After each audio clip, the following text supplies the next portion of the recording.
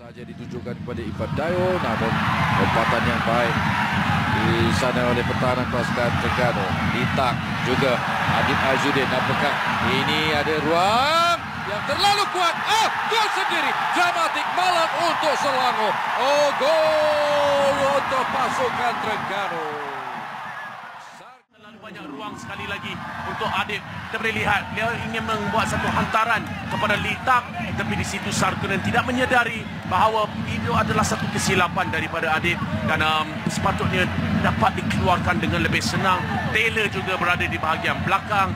So ini sayang sekali untuk Selangor mereka telah melakukan satu tugas yang lebih uh, yang yang baik uh, pada malam ini untuk cuba mendapatkan satu clean sheet tetapi ini adalah hasilnya